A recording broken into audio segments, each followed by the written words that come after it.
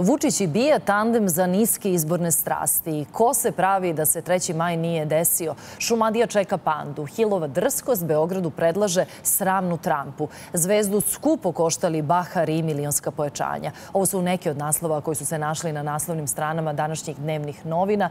Njih ovoga jutra prelistavamo i komentarišemo u društvu Nemanje Rujevića, novinara Dojče Vela i kolumniste danasa. Dobro jutro. Dobro vas je i lepo vidjeti u Beogradu. Hvala što ste ovoga jutra sa nama. Ali evo, koje su vas svesti dočekale kada ste stigli u Beograd iz Nemačke? Standardne. Pa, da li su standardne ili, e, ili se čini kako se približavamo 17. decembru da se prelaze neke crvene linije koje možda nisu ranije bile pređene? Privatni snimak Đorđa Mikitića u prljevoj kampanji režima, tako piše Nova. Šta se to dešava? Pa teško da ima nešto što do sad nije pređeno. Dakle, bilo je i ranije tih stvari. U principu pokušava se da se naudi jednom čoveku, opozicionaru, potpuno privatnim, intimnim snimkom koji, po mom uverenju, je bi trebalo bude zabranjeno ići u detalje. Sad, na primjer, u ovakvim emisijama uopšte mi ne treba da ulazimo u to, jer to ne treba da bude tema. Teme treba da budu javne, mi se oboje bavimo javnim poslom, na televiziji se raspravlja o javnim stvarima, u politici se raspravlja o javnim stvarima, a ne o tome šta neko radi u svoja ili neka tuđa četiri zida. Da, kako da razumemo e, izjave, odnosno oglašavanje bije po tom pitanju? E, kao, e, kako da kažem, igra se na kartu malograđanštine. Dakle, ceo taj konstrukt u kojem predsjednik kaže jao da vi vidite taj Miketić, šta će to sad da se sazna, E, naravno neće, onda kaže, nije, nije toliko glup. E, a onda se pojavljuje ta preteća poruka koju on dobija, on radi jedinu logičnu i pametnu stvar u tom trenutku da prvi izađe i kaže evo to je tako i tako i ja sad ja nemam čega da se plašim. E, a onda se to nastavlja minijaturama ovog Dragana J. Vučićevića, pominju se neke druge stvari koje je navodno Miketić, a opet sve privatnog karaktera to, to, kao da se igra na kartu malograđanštine, kao vidite ljudi kakvi su ovi eh, iz opozicije. Kao da nema dovoljno municije eh, u, ovom, ja, u ovim stvarima javnim, a, a ima je, mislim, režim svakog dana udara na, na hiljadu, na, i opozicija, mislim, ima dovoljno materijala. Koliko ja znam, opozicija nije išla u, u, u privatne stvari, a kao da ne bi moglo sa sličnim motivima da se priča i o predstavnicima režima. Da, i ono oko čega se spekuliše, evo posljednjih 48 sati od kada se predsjednik prvi put tim povodom oglasio e, na Pinku, e, a pogotovo u jučerašnjem danu, da li je juče taj integralni snimak ili bar deo snimka pušten tim nekim neformalnim putevima, da li je pušten slučajno ili namerno u danu kada imamo, pa grozno zvuči da izgovorim, protest roditelja ubijene dece koji svoju pravdu, pravdu za svoju ubijenu decu traže na ulicu? Pa ne znam sad da li su poklapanja slučajna ili namerna. Svakog dana ima nešto. Ne bih da nekome, ovaj, kako da kažem, da insinuiram da je neko baš to zbog eh, zbog toga uradio. Isto kao što je nepoznato, bare meni, da li je zbilja neko pljačkao Miketića pre godinu i po dana sa ciljem da se on politički urniše ili je prosto tu taj snimak nekome pao u ruke koje je mogao da dojavi nekom ili da ga proda ili kako već te stvari znaju da idu na toj medijsko-političkoj tržnici. E, međutim, stvar ostaje prosta. Nedopušteno je pričati o privatnim stvarima ljudi, to se nas ne tiče.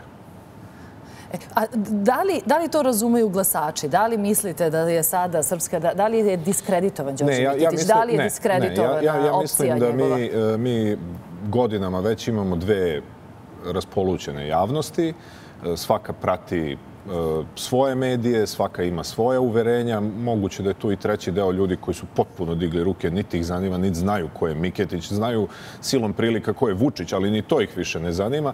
A ove dve javnosti, jedna koja e, veruje, da kažemo, režimu i druga koja mu ne veruje, svaka ostaje ukotljena na, na svojim e, položajima, prosto ne može da niko sada preumi zbog toga što ima neki snimak nekoga. Mm -hmm. e, a koliko su spremne te dve raspolućene strane da budu samo kritične? Da budu kritične prema onome što se dešava uslovno rečeno u njihovim redovima? Ni malo smo, ni malo, da. Da, šta bi se desilo, evo to je isto jedno od pitanja onih koji kude Miketića na Twitteru, šta bi bilo da je ovakav snimak, kompromitujući sadržaj i sureo, a da je deo privatnog intimnog života nekog od predstavnika vlasti, na primjer? Ja, ako bih ovde sedao, rekao bih vam potpuno isto da je nedozvoljeno pričati o tome. Pa bilo je pokušaja da se nešto priča o tome, ne znam, recimo, partnerka Ane Brnabić i tako dalje. To je isto nedopušteno, to isto ne sme da se radi. A ovo je naravno ulazak još dublje u nečiju intimu i tako dalje. Mhm. Da. Spomenula sam malo pre e, u kontekstu da li se prikrivaju e, afere i da li se e, mm prikriva ono što e, država jeste ili nije uradila od 3. maja. Kako vi, evo, prvo iz pozicije, kada posmatrate to šta se dogodilo 3. maja, na koji način e, su, koji su potezi države usledili od 3. maja i ova sada reakcija, čini se ovaj krik ili nemoć roditelja juče? Ja sam imao priliku da vidim analizu Beogradskog centra za bezbednostnu politiku, koja još nije završena, ali sam objavio juče u newsletteru među vreme oni su detaljno analizirali i stručno sve mere koje su najavljene. Vi se sećate da je Vučić tog istog dana izašao sa jednim spiskom mera koje su bile otkucane u stip felere, dakle na brzinu je hteo da tog dana već predstavi, mislim, 90 mera. I sad zaključak ovih ljudi koji su o tome pisali je da su mere ili jalove ili nisu ni sprovedene. I vi kad pogledate od onih silnih najava nije ostalo skoro ništa. Ono što se videlo e, jeste policija po školama i vidim da se naprednjaci jako ljute kad neko dovede to u pitanje. Oni kažu šta vi nećete da naša deca budu bezbedna. E, s tim što se postavlja pitanje koliko je to placebo efekat. I sami policajci, to opet piše Beogradski centar za bezbednostnu politiku, oni su pričali s policijskim službenicima, isto kažu pa ne možemo mi da budemo istovremeno u 20 učionica. Dakle, to a s druge strane misle da se pojačava kriminal na ulicama, jer nemamo mi dovoljno policajaca da budu u svakoj školi, i, i, a i na ulici gde bi trebalo da budu.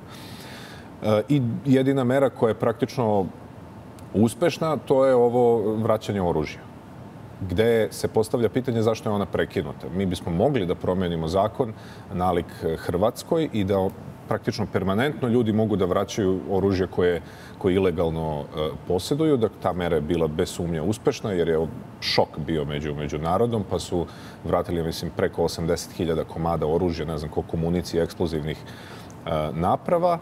E, inače, nije mnogo e, urađeno. Mhm. E, a kako, zašto mislite da nije urađeno? Zato što nije postojala volja, zato što je bila e, potreba da se nekako sve brzo vrati u normalu? Jel, jel vidite u tome neku tendenciju prikrivanja ili saniranja? E, saniranje svakako, pa ne bih rekao da nema volje. Znate šta, nije, nije vlast, ne sede tu ono, Hitleri u vlasti. Dakle, zašto bi oni, nisu oni zli ljudi koji mrze decu i šta ja znam e, ali prosto e, taj njihov refleks je jači od njih. To da mora što pre da se pokaže da se nešto radi. Ne da se stvarno radi, nego da se pokaže da se nešto radi. Onda se ne konsultuju ni stručnjaci i tako dalje. I onda se izađe s nekim merama od kojih su neke potpuno nesprovodive. Sećate se da su pričali da će da vide da se kontroliše dark web ovaj deo interneta, koji je potpuno nemoguće, dakle to niko na svetu nije uspeo da uradi. Eh, ali...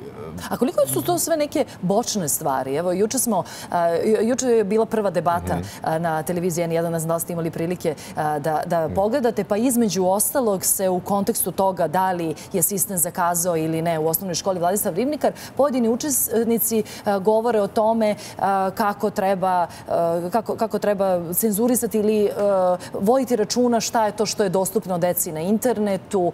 Svi mhm. zaboravljaju u kojim segmentima treba preispitati učešće sistema, streljana, da li, da, da li su vršene provere, da, pedagoške možda ili psihološke tog dečaka koji je počinio taj zločin. Dakle, to, jel su sve te obočne? Čini se da, da, su, građe, odnosno, da su roditelji nemoćni jer čekaju da nešto država uradi, a ona ništa ne uradi, ništa ne radi i onda oni nekako sami preuzimaju Pa dobro, sad i da je država najbolja na svetu, uvek postoji jedan rizik da neko, neki pojedinac se provuče kroz sve mere i sve, sve kontrole moguće i da onda napravi tako, tako neki zločin. Dakle, nije to pitanje. Pitanje je šta je država radila posle da, da stvari promeni. Ja mislim da nije radila mnogo i svakako nije radila dovoljno. E, ovo nezadovoljstvo tih roditelja je opravdano potpuno.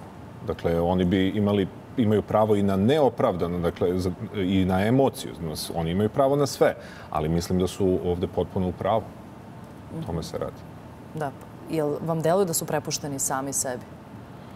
Pa deluje mi, ali to oni najbolje znaju. Mhm. Da. E, malo pre kada ste rekli, e, ništa se e, nije promenilo kada su vesti u pitanju. E, juče je e, izašlo veliko istraživanje CINSA, odnosno, e, već smo i rekli u našim vestima, jedna naša koleginica se infiltrirana, Ivana Milosavljević, u kol centar Srpske napredne stranke i sada nešto o čemu se samo šuškalo, govorilo, nagađalo, sada imamo dokumentovano. Jeste, ona je postupila, mogu ovaj, gledalci da provere ko je Ginter Wallraff, nemački čuveni novinar koji se infiltrirao više puta na razna mesta, recimo u redakciju tabloida Bild, pa je došao do, pisao i knjige onda o tome. To je bilo davno pre interneta, danas je mnogo teže to, jer lakše mogu da vas provere, ali evo koleginici je uspelo i svaka je čast. E, pa da se vratimo na ovo što sam govorio o Miketiću. Dakle, nas zanima, zanimaju javne stvari, javni interes. Tako, ne treba mnogo da nas zanima ili fascinira to što jedna stranka, koja je velika stranka, ima sad veliki call center, tu je 80 računara i šta je znam. To je njihovo pravo. Ono što nas treba da zanima je eh, odakle im spiskovi ljudi, brojevi telefona, a meni ljudi kažu ovako i privatno da ih zivkaju na prednjaci, a da nikad nigde u životu nisu ostavili svoj broj telefona, niti bilo šta potpisali da neko može da ih zove. I drugo, dakle, pare koje se očigledno isplaćuju na crno kako sam razumeo, tu pare idu na ruke. Dakle, odakle pare? Koji su to crni fondovi? Gde su te pare ukradene? Zašto nisu zavedene? I tako dalje.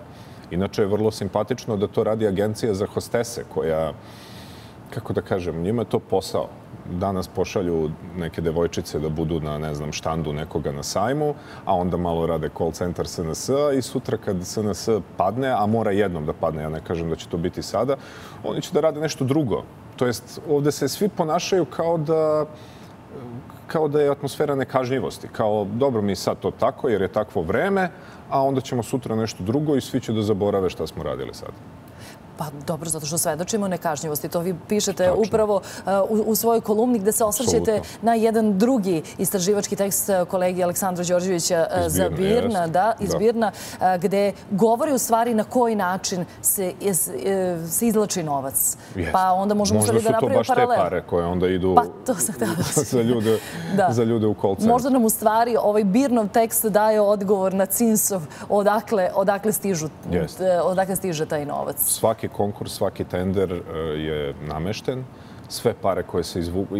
U tom istraživanju Birna je zanimljivo što su te lažne organizacije koje su dobijale pare na konkursima, njih na papiru vode neki ljudi koji su obični ljudi. Jedan je, ne znam, kaže ja cepam drva, inače drugi kaže... Taj ja sam... famozni Stanko, kog Stanko neki, da.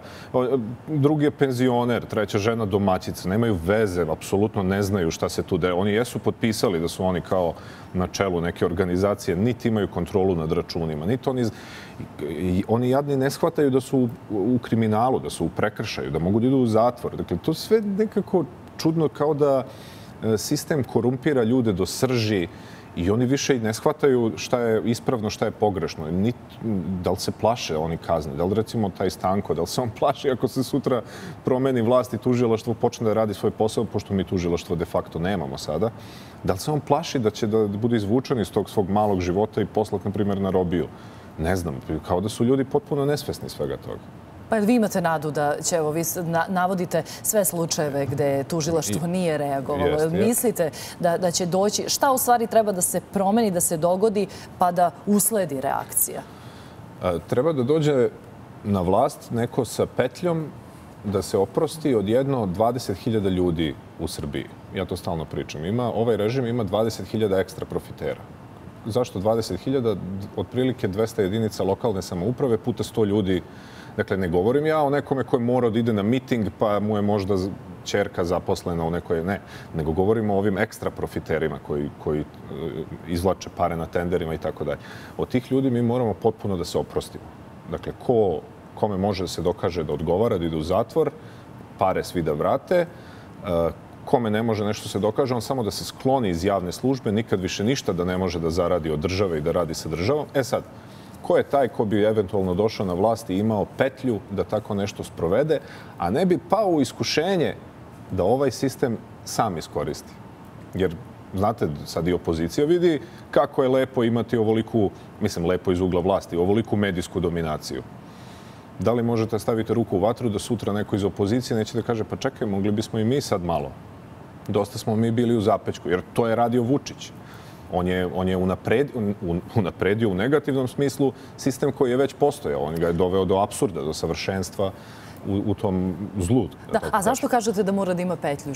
Gde bi to tog nekog e, koštalo činjenica da se e, otarasi tih 20.000 ljudi?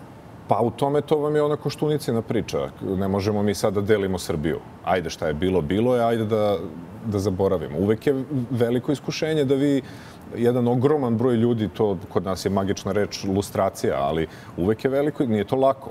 Dakle, nije to, to je veliki društveni poduhvat. Treba sad da hiljade i hiljade ljudi budu skrajnuti. E, njihove porodice da na jedno, jedno vreme ostanu bez prihoda i tako. To nije lako. Ja ne kažem da je to uopšte lako.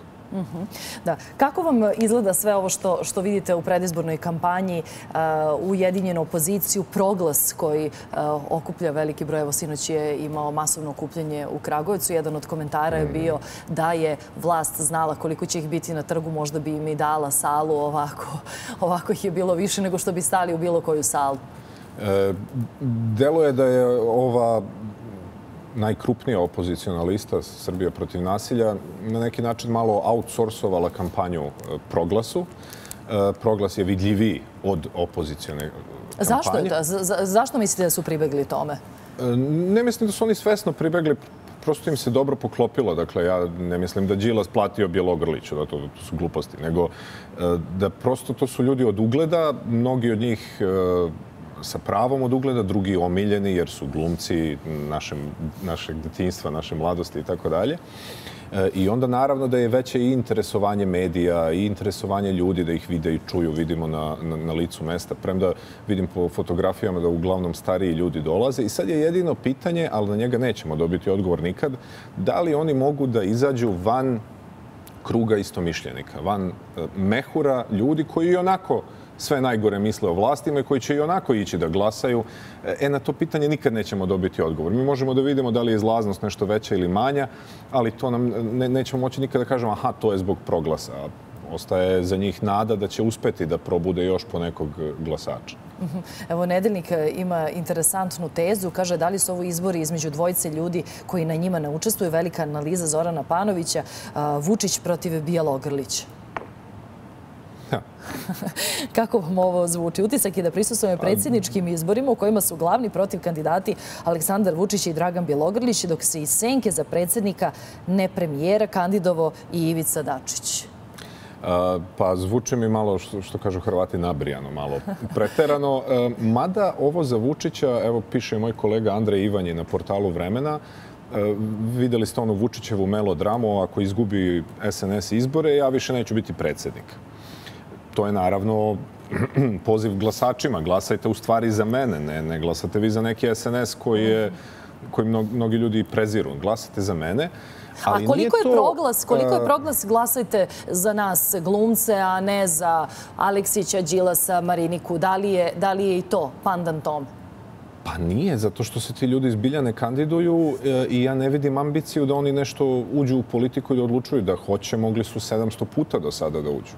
Pa šta mislite da je Bjelogrlić hteo recimo da bude kandidat za predsjednika Srbije, da bi ga neko odbio od ovih, ajde da kažemo, građanskih možda bi čak bio i dobar kandidat, ali nije to isto. Ovo za Vučića ima određene logike, jer zbilja kada bi vladu preuzeo neko drugi, bez obzira u kojoj koaliciji, pa on bi stvarno postao fikus. On bi vrlo brzo bio najuren iz, iz, iz predsjedništva. Dakle, istina je da se glasa i protiv Vučića ili i za Vučića? E, sad je pitanje, evo i ova teza je dobra. Kaže, u Srbiji postoje dva sistema. Glasa od deda, glasa od tata, glasam i ja. Ili šeta od deda, šeta od tata, e, šetam i ja. Koliko, e, koliko ove dve strukture su čvrste i koliko može da se prebaci iz jednu u drugu? Uf, to je dobro pitanje. Mislim da se više radi o, i to isto Panović stalno priča na osnovu istraživanja demostata, o ljudima koji vole čvrstu ruku i onima koji vole demokratiju, ajde u najširem smislu reči. Oni koji vole demokratiju bi morali da znaju da su promene ponekad dobre, samo promena radi. Dakle, da, da dosta je bilo. Mislim, jedne, jedne te iste vlasti. Ali mi vidimo da i u svetu je sve više ljudi koji eh, navijaju za čvrstu ruku. E pa da, to, je po, to, to, to ćemo sljedeći put o tome. Da, imali ste interesantnu kolumnu skoro o Ursuli von der Leyen da, yeah. i, i uh, percepciji nje. Hvala mnogo što ste ovoga jutra govorili za Probudi se.